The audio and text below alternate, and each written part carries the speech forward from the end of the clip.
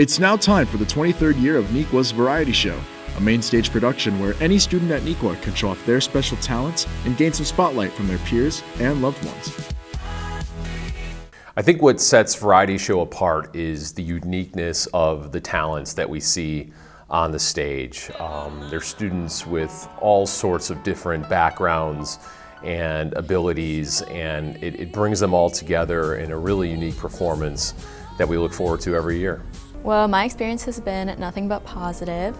Um, all four years, it's just been really fun for both cast and audience, I think. Um, there's like really high energy with all the performers, and then the hosts are also really funny, so I think it's a really enjoyable show, and you don't really get to see anything like it at Neuqua.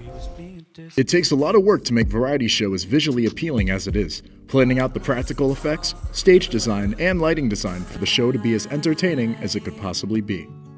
I'll start thinking kind of what worked well variety show last year, what didn't.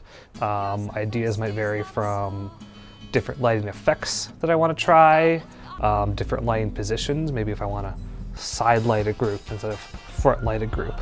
Uh, we work with a concert production company, so it's a, a concert level professional uh, sound system that comes in. And essentially, the main goal that I approach that is how can we make this sound like a live music concert. Good luck to all those performing in the show, and make sure to go check them out on February 9th, 10th, and 11th at 7 p.m. Tickets are sold in the Rotunda starting Monday, February 6th. And for Wildcat Weekly, I'm Dylan Sedgwick.